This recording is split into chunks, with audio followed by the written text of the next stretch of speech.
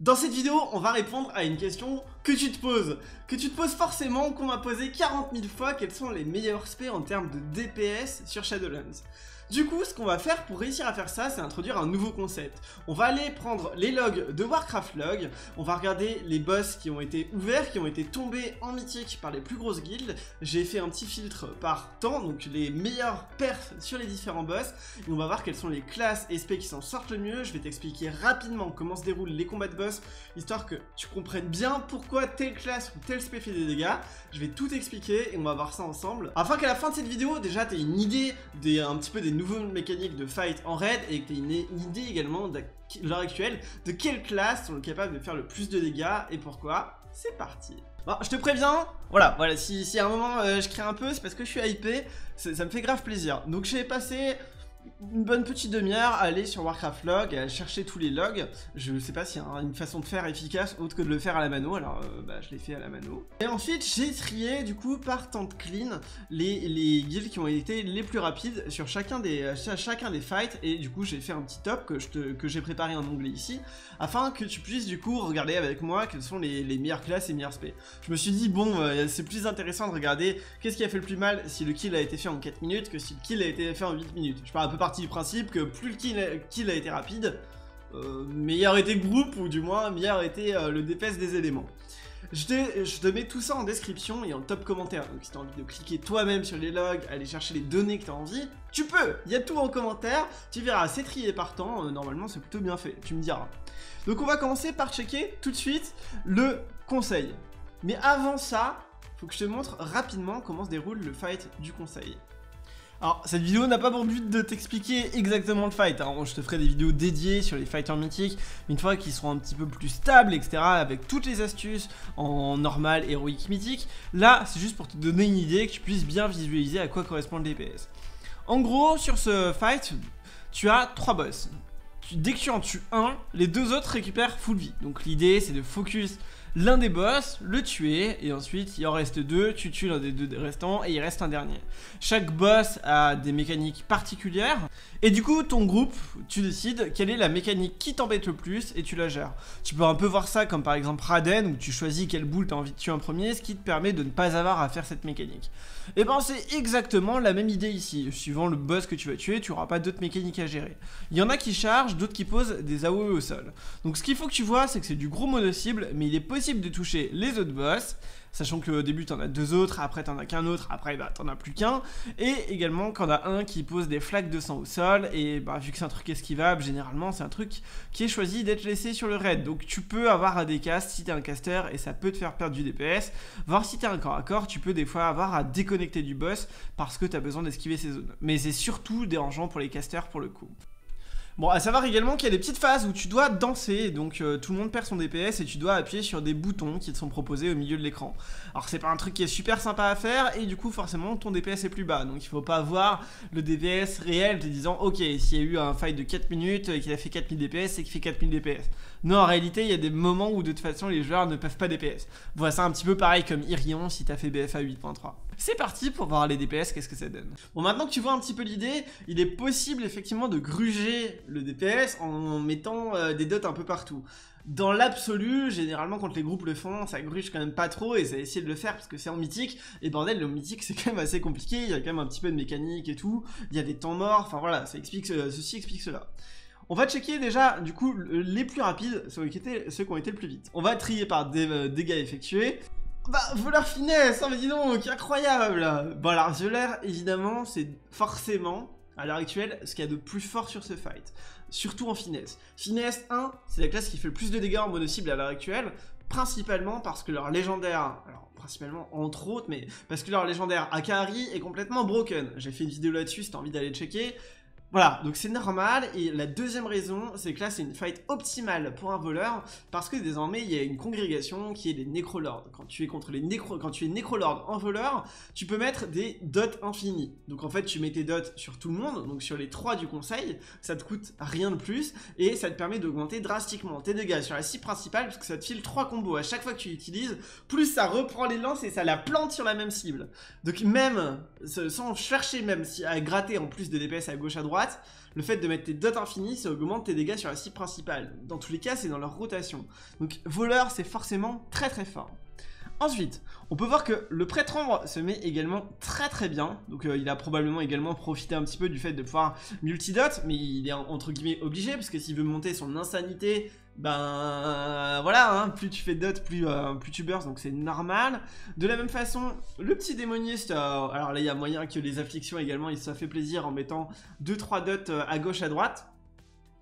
Donc c'est possible également, parce que là on n'est pas sur du pur mono. Dans l'idée c'est du mono, donc ils vont les mecs prennent des builds mono. Tiens d'ailleurs si on va checker un petit peu, si on va checker un petit peu le, démoniste. Comme on peut le voir là, il a un build mono, c'est-à-dire que du coup il a pris la singularité, il a pris Hanté, il a pris, euh, il a pris son brin d'âme. Bon, voilà, il a, pris la plupart des trucs qui sont du pur mono. Typiquement, il aurait pas pris Hanté, etc. s'il voulait vraiment gratter plus de DPS.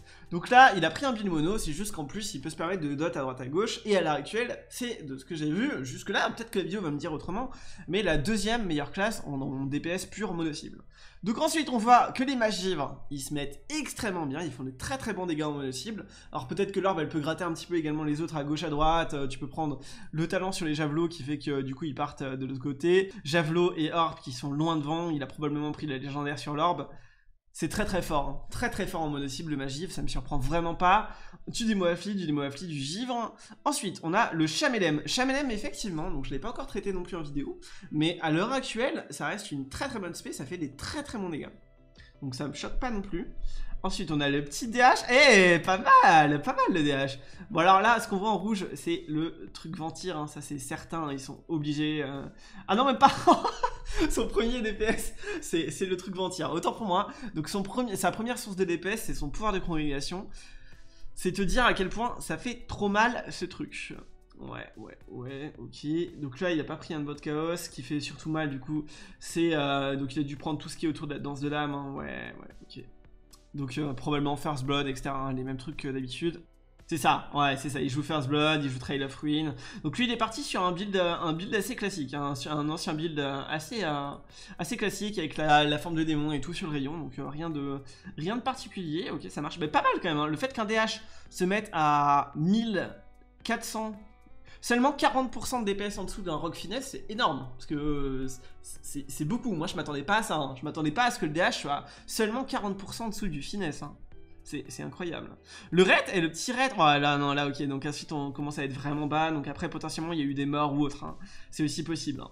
Donc là, ok, on peut déjà avoir une bonne idée. Ok, sur des gens qui ont kill le fight, on voit un petit peu les classes qui sont au-dessus. C'est principalement des fights mono-cibles. Tu vas voir Shriekwing, c'est du pur mono-cible. Là, tu peux gratter un peu à côté. Donc ça semble assez logique sur ces classes-là qui sortent dessus. je vais voir, on va voir quatre autres logs de ce fight-là, du conseil, maintenant que tu vois un petit peu à quoi ça ressemble. Et ensuite, on va passer à, euh, à l'autre boss. Donc ici, oh là là, le premier, c'était c'était un rock finesse. Oh là là, mais dis donc. Ça, on est, on est surpris. Hein. Ah, t'es pas surpris Ok, bon, t'es pas surpris. Suivi par plein d'afflis, du givre. Ah, voilà. Donc ça, c'est intéressant. Il y a un petit hunt précis qui est arrivé là-dedans. Et du coup, euh, ok, il fait des dégâts sur un peu tout le monde. Donc apparemment, il a quand même plutôt été mono. Hein, sinon, il aurait eu euh, un plus gros écart que ça, je pense. Tac, donc avec visée, forcément visée. Tire de la chimère. Ah ouais, mais il joue chimera shot. Qui, le, malin. Donc chimera shot, qu'est-ce que ça fait hein, pour rappel C'est que ton tir des arcanes, il va taper ta cible principale et une autre cible. C'est-à-dire que là, du coup, il gratte un, deuxième boss du conseil, mais il a pas besoin parce que ben ça ne sert à rien, il se remet full vie. Donc bon, il a pris un peu un talent pour gruger un peu. Mais, euh, mais bon, force à lui, force à lui, il arrive quand même à être assez haut, hein, comme ça. À peu près les mêmes choses qui ressortent bien. Oh là là, Sinful Brun, c'est pareil, hein, c'est le pouvoir ventir des DH incroyable. 16% hein. de son DPS au DH. 16 fucking Incroyable. Ok, on est parti pour le troisième. Donc le troisième, donc on va aller toujours voir le conseil. Hein. Donc le conseil, le conseil, eux ils l'ont fait en 5 minutes 40. Qu'est-ce que ça donne? Oh, le démo destru, let's go Ça, ça fait plaisir. Donc vous voyez, il y a probablement du gruge tumulte hein, dans l'histoire, mais, euh, mais quand même, 4900 DPS et tout, oh là là. Oh, les dégâts de l'infernal aussi La moitié de son DPS. Ah, basique, basique simple. Attendez, je vais checker vite fait. Du coup, le petit démonestru, qu'est-ce qu'il a? Ouais, effectivement, hein, l'infernal. Oh là l'infernal. Bon, il a quand même mis des dégâts avec des bolts. Hein. Son, petit diablotin, quand même, pas dégueu non plus. Et quels étaient euh, du coup euh, les talents qu'il a choisi de prendre. Donc il joue avec le truc qui fait que quand tu dépenses des shards, tu peux invoquer des infernos, et ensuite il joue avec le truc qui fait que quand tu dépenses des shards, t'as des chances de récupérer des shards. Ok, ce qui est assez logique. Hein. Et si on voulait checker du coup la, la légendaire, je suis pas sûr que ce soit possible de l'avoir, mais probablement le truc qui permet à l'infernal de revenir plus rapidement. Ok, donc Démonis Destruction avec ce build, hein, euh, ça c'est pas surprenant, mais qui a réussi à se mettre devant et le Rogue et le Shadow Priest, Shadow Priest qui se mettent vraiment bien, hein, encore une fois, du coup, tu chopes plein d'insanité, tu peux burst la cible principale, ça m'étonne pas.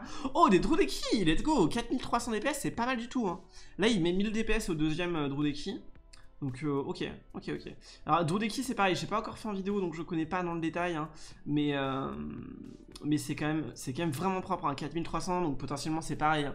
Il a bénéficié un petit peu du fait de pouvoir gratter sur les autres, c'est pas forcément du pur mono, mais Eki ça s'en sort très très bien en mono donc au final c'est pas pas surprenant, hein. c'est une des classes qui euh, que je mettrais top 5 en mono. Donc pas, dans le top 2 mais plutôt dans le 4 ou 5 mais très très bonne classe en mono. Et le petit hein, pareil 2700 ça, ça, reste quand même des chiffres corrects par rapport à l'ensemble du groupe.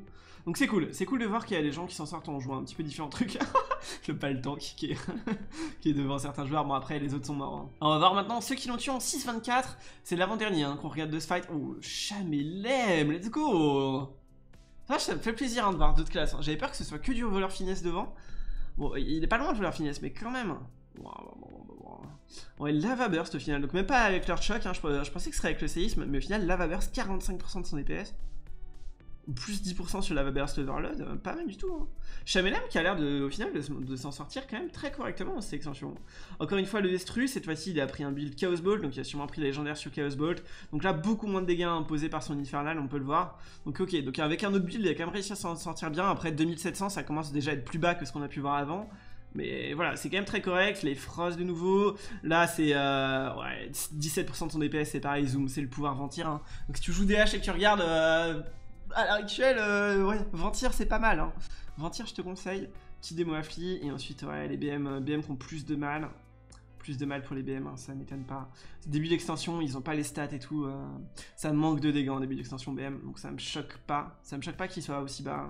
Il est pas mort, il est resté jusqu'au bout. Et du coup, sur un DPS total, il, il tourne tac tac tac on a dit il tourne à 2400 sachant que t'as les petites phases où tu dois danser tu dois pas les PS Bon, en soi, c'est à peu près équivalent. Hein. Il, est un peu en bas de tableau, mais euh, c'est logique, tu vois, vu que c'est une classe à stats euh, qui scale plus tard et tout. Euh, et qui est. C'est pas une classe où t'es forcément avantagé sur ce fight, à part pour dodge les zones, les zones de sang qui est au sol, mais du coup, c'est pas, pas si déconnant que ça. Allez, on va voir le cinquième. Alors. 6,50, 6,50. Le dernier du conseil, du coup, avant que je te passe à l'autre boss. Oh, voleur finesse Oh là là, oh là là, on n'aurait pas deviné, hein. Oh, par contre, what the fuck, il y a un marche-vent ici? Oh, il est à 2900, il n'est pas non plus à 4300, calmons-nous, calme-toi Naxi, calme-toi. Mais il y a un marche-vent, ok. Fist of Fury, mêlée, Fist of Fury, Lightless Force. Ta ta ta ta ta, Fallen Monk. Alors qu'est-ce qu'il a pris lui? Allons checker rapidement. Je check un peu de tout comme ça également si tu joues l'une d'SP euh, et que tu, voilà, ça t'intéresse un peu, tu peux voir un petit peu. Fallen Order, 22% le pouvoir ventir. What the fuck? 22% le pouvoir ventir quoi. Ah oui, d'accord, hein, ok. Ok, le pouvoir mentir qui a, carry un peu, hein, qui me de, de petits dégâts. Hein. Sinon, du coup, Fist of Fury, son invoque, ouais, classique. Ouais, ok, il a pris du classique. Hein. Ok, ok. Lingdon, toucher du karma, ouais, bah, évidemment. Ouais, mais donc, ok, il s'est fait beaucoup carry par son pouvoir Ventir. Bah, comme quoi, Ventir, hein, comme euh, j'avais mis d'ailleurs en, top 1 sur la vidéo du mois DPS, mais on peut voir que c'est fort, c'est fort Ventir là-dessus. Mais euh, ils l'ont buff en plus, ils l'ont buff avant, ça faisait mal, mais pas à ce point-là, quoi. Ok. Donc voilà. Ensuite, on va passer à Shriekwing. Donc Shriekwing, je te mets pareil des petites explications sur le fight. Alors c'est assez rapide, hein. mon but c'est pas de te montrer le fight, hein. je, te ferai des vidéos vraiment dédiées dessus. C'est que tu vois un petit peu comment ça marche. Donc c'est parti, on se retrouve juste après. Ok, donc concernant ce fight, c'est du pur, pur, pur, pur mono avec des phases de perte de vision où il faut se cacher derrière un poteau. Où des fois tu dois attendre pendant 20 secondes euh, les ondes sonores. Des fois tu dois juste aller poser des flaques derrière. Comme là par exemple, tu peux le voir, il va derrière le poteau, ils se groupent tous pour tous mettre la flaque de au même endroit. Euh, et voilà. Donc dans l'idée en fait, ça va être beaucoup de phases où tu vas perdre contact au corps à corps ou à distance tu vas également devoir perdre du temps. Globalement tu vas perdre plus de temps sur un corps à corps, tu vas devoir utiliser des CD de mobilité parce que tu es un petit peu plus loin. Tu également des trucs où il fait des ondes qui rebondissent sur les poteaux qu'il faut esquiver. Donc c'est un boss qui est un petit peu embêtant quand même pour les corps à corps, qui est moins gênant si t'as une classe qui a moins besoin de casse, parce que bah, c'est pareil, il y a des moments où du coup tu vas devoir décasse, parce que tu vas devoir être derrière le poteau, t'as des avantages avec certaines congrégations, comme par exemple, si t'es un chasseur précis et que t'as le pouvoir Kyrian, bah, tu peux l'utiliser sur ces phases-là et pouvoir DPS quand même derrière le poteau, et ensuite tu dois également déstack en restant dans les flaques, suivant, euh, bah, suivant le nombre de stacks que tu as, suivant comment ça se passe. Mais pareil, je t'expliquerai le fight dans le, détail une autre fois. Mais du coup, potentiellement, tu dois rester dans des flaques et tu ne peux pas contacter le boss. Donc voilà, tout ça, c'est à prendre en compte, mais c'est du gros mono-cible. Qui s'en sort le mieux? C'est parti. Alors, la première équipe qui l'a tué, j'ai vu le temps le plus rapide, c'était du 5 minutes 23. C'était cette équipe-là. Alors là, du coup, c'est du pur mono, pur mono, pur mono avec des phases où tu ne peux plus taper. Et il détruit, let's go Oh là là, et les dégâts d'Infernal encore une fois. Oh Chaos Bolt, hein, il me semble le premier quand même euh, de son DPS, mais... Euh, ah non, Infernal, Chaos Bolt, donc il se vaut, hein, donc démo détruit en monocycle qui s'en sort quand même extrêmement bien. Ça, c'est le pouvoir Ventir. Bon, il a mis à 3%, on n'est pas non plus sur quelque chose d'incroyable. Le Diablotin qui a quand même une grosse partie de son DPS, ouais, mais c'est surtout les Infernos, quoi. Oh, les Infernos qui font extrêmement mal. Du coup, lui, il était parti pareil, en mode, euh, quand j'invoque plusieurs Infernos, quand je dépense des shards, comme quoi on peut voir que c'est vraiment fort. Hein. Il récupère ses shards, euh, des scoils, hein, des pluies de feu, ok, ensuite euh, les talents classiques de début d'extension, hein, de toute façon, qui sont quasiment indispensables. Sinon, euh, t'as pas, assez de, de hâte et tout, c'est trop trop lent de te caster chaos. Donc ça se tient, ok. Donc déjà, on peut voir qu'un un, démo détruit est capable de s'en sortir extrêmement bien. Vouloir finesse, bon évidemment. En plus, c'est pareil, mais en finesse, du coup, si, si, tu joues, mais c'est sûr, il joue ça de toute façon, je vois pas pourquoi il joue autre chose. Voilà, il joue ça. Euh, quand tu joues, du coup, euh, Necro, t'as ta dot infinie. Et la dot infinie, entre autres, du coup, elle continue de taper le boss pendant les phases où tu ne peux pas taper le boss. Il y a des moments, t'as 20 secondes, tu dois tempo derrière un pilier. Du coup, ta dot infinie continue de taper sur ces phases-là. Enfin, c'est extrêmement fort. C'est pas à la base censé être fort en mono, mais vu que ça tape tout le fight, tu mets dès le début et tu te mets bien. Et ensuite, évidemment, frappe ténèbres, hein, Akari, etc. On connaît, on connaît les bails, hein. on sait comment ça marche. Voleur finesse extrêmement fort. Magif qui est juste, juste, juste derrière. Hein. Ça se joue dans un mouchoir de poche entre l'Eki, le Magivre, le Démo Destru et le Voleur Finesse. Hein. Il y a beaucoup de potentiel dans ces classes. Hein. Encore une fois, Eki, hein, je te dit, hein. moi je voyais bien ça top 5, mais euh, voilà, pareil avec Afli, Afli, etc. Ensuite, tu as SP, bon là ça commence à être plus bas, un petit peu plus bas. Mais on peut voir que ouais, ils s'en sortent quand même bien, tu vois, même le Red, il est pas si bas que ça. Là, le, DH, j'imagine, c'est euh, Sinful Brand, encore une fois, qui le carry, ouais. C'est le, pouvoir mentir, c'est pareil, ils sont obligés de jouer avec ça. Mais 2500, ça va, tu vois, ça commence à être du bas de tableau. Et ensuite, des cas givre, il a dû mourir, c'est pas possible. Ah, expliquons le, le War Fury qu'on a vu qui était bas, effectivement il est mort assez rapidement dans le fight. Donc ça se tient, c'est assez logique. Si on regarde du coup par mort, pour voir un petit peu ouais, ceux qui sont morts rapidement, du coup t'as eu le Palret, t'as eu le Demo Unity Test, et ensuite t'as Rockstar, etc. Il y en a beaucoup qui sont morts dans les 4 minutes 10. Même le voleur finesse hein, qu'on a vu qui est terminé quand même assez haut, il est quand même mort assez rapidement. C'est ouf, hein. il, est mort. il est mort avant la fin, il est quand même deuxième DPS, quoi. Quel brut, quoi. Alors que Rockstar, il est mort à 4 minutes, bah voilà, il a pas cherché, euh, cherché son rab, il s'est dit, ok, je suis mort avant, bah, j'ai la moitié du DPS des autres, tu vois, normal. Mais, euh, mais non, ok, très bien, ok, très bien. Allez, on va passer sur le prochain, prochaine équipe. Eux, ils l'ont clean en 6 minutes 19, donc déjà un petit peu plus long, hein. c'est un petit peu plus de, un peu plus compliqué, on voit que c'est encore un petit peu plus lisse par contre, hein, les, les phases.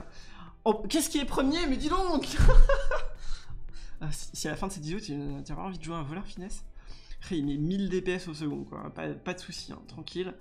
Ensuite, du coup, t'as du démo... Du prot C'est pas possible, c'est pas un prot, ça. C'est pas un. Non, non, dis-moi, c'est pas un prot. Dis-moi le en commentaire, ce n'est pas un prot. Rassure-moi sur le fait que ce n'est pas un prot qui a mis 3600 de DPS, quoi. Dis-le-moi, ça peut pas être un prot qui a mis la misère à tout le monde, tu c'est pas normal. Ok, il est mort à combien de temps le DK Il est pas mort. Ok, le, le DK n'est pas mort. Euh, le, DK est plutôt solide. Hein. Là, on peut voir annihilation, ouais, logique, logique. Hein. Le build classique, annihilation, hein, des armées du givre. Je vais pas tarder à te le traiter en vidéo non plus, hein, ça, tu, tu vas vite comprendre pourquoi ça fait aussi mal en mono. Mais je suis content de voir qu'il y a un petit DK qui arrive à s'en sortir aussi bien. C'est bien, il y a quand même un petit peu de représentativité. Et ça, c'est beau. Si 2400, etc. Bah après, c'est potentiellement des gens qui sont morts. Là, si on va checker par exemple les LEM, mort. Ah, il est pas mort. Ok, lui, il est pas mort. Donc, lui, il a, a pas, pas réussi à tirer son épingle du jeu en mono-cible. Donc, je vais checker vite fait les morts, juste voir lesquels je peux filtrer rapidement. Donc, le mage le mage arcane. Ah, c'est vrai qu'on a pas trop vu des mages. Hein. Personne joue ça, hein, c'est ouf. Et, ok, t'as juste le démo qui meurt à la fin, mais sinon, t'as le prêtre ombre, etc. Ok. Ouais, c'est parce qu'il est mort, le finesse, hein, qu'il a fait moins mal que l'autre. Ok, ça se tient. Ça se tient carrément. Donc, c'est pour ça que le mage est également euh, aussi bas. Et là, encore une fois, ça va être Sinful Brand, hein, tous les coups kill carry. Voilà, c'est ça. Le, pouvoir ventir 13% de son DPS. Hein. C'est énorme. En tout cas, ça me fait plaisir de voir que euh, le Palret arrive à s'en tirer aussi bien. Parce que j'ai eu beaucoup de commentaires, enfin j'en ai eu quelques-uns qui m'ont dit Oui, mais non, mais vraiment le Palret c'est pas si bien. Tu vois, je, trouvais que c'était quand même vraiment pas dégueu quoi. Genre, euh, et, au final, on peut voir qu'ils arrivent quand même bien à sortir leur épingle du jeu. Donc, ok, le marteau du courroux hein, qui fait très mal, le verdict des Templiers, logique, hein, c'est du pur mono-cible. Et le dernier, alors le dernier, le dernier, le dernier, suspense, suspense, suspense, ils ont fait un 6.44, ce qui est un peu plus long. Peu d'équipes ont réussi à le tomber, et c'est. En voleur finesse! Oh let's go! Oh là là! Putain j'ai pas cru. Moi je dis pas ça parce que je suis main voleur à la base hein. Pas parce que j'ai très envie de jouer finesse Non non aucun rapport avec tout ça. C'est pas parce que voilà Non non là faut pas y voir du personnel hein. Pas du tout.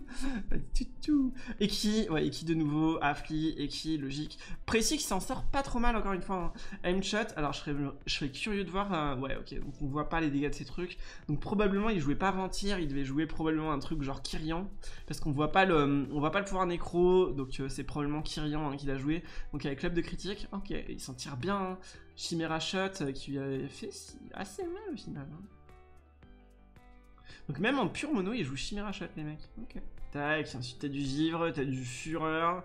Fureur 2500, c'est correct, bah, comme tu peux le voir, de toute façon c'est un bon milieu de tableau Fureur, c'est pas... Alors Dora Ketofi, est-ce que Dora Ketofi ils sont morts rapidement? On va checker ça rapidement. Oh, What Personne n'est mort chez eux. Genre, euh, les gens ils sont en mode mourir Mais à quoi bon Non, on meurt pas. Ah oui, d'accord. Donc attends, si on recheck, du coup, ils sont sur du 2500 dégâts constants. Euh, Condame, donc lui il était Ventir, lui il était Ventir aussi, euh, logique, hein, logique. Très très fort Ventir. Ok, bah ici, ce tableau, il est plutôt assez logique, hein, plutôt assez représentatif du DPS des classes. On peut voir Magie haut, euh, Précis s'en sert bien, Iki aussi, et Appli aussi. Et euh, Finesse aussi. Ouais, franchement, je trouve c'est euh, assez logique par rapport à tout ce que j'ai vu. Genre, il y aurait eu un BM, je pense que je l'aurais vu pareil dans ces eaux-là, au niveau des, euh, des Fury à l'heure actuelle. Mais c'est pareil, Fury, c'est une, une spé qui va step up, hein, qui va finir par monter. Donc euh, ça, ça me fait pas peur. Honnêtement, ça me fait pas peur. T'en as quelques-uns qui euh, sortent déjà un petit peu épingle du jeu. Ce sera pas. De toute façon, en raid, c'est dur hein, d'avoir des top 3 DPS avec un Fury, mais, mais c'est quand même un truc qui s'en sort bien, tu vois, au final. Donc c'est cool. Ça me fait plaisir. Et voilà pour cette première analyse, du coup des fights, un petit peu des logs, etc. Donc vraiment, alors là ce que je t'invite à faire, c'est mon premier format là-dessus.